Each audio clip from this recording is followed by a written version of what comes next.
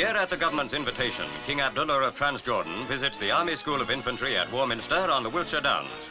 With him is Glubb Pasha, legendary British Arab Legion commander. Others in a distinguished party are the young Prince Naif and new to the English climate, the Transjordan Defence Minister.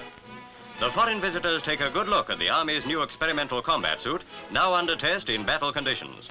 Eight Army men hold the compromising opinion that it looks too much like the get-up of Rommel's Afrika Korps.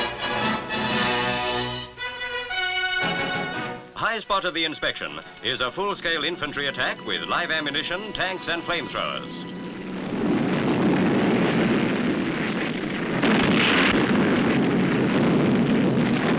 Prince George of Greece is there as military attaché with Arab Legion onlookers.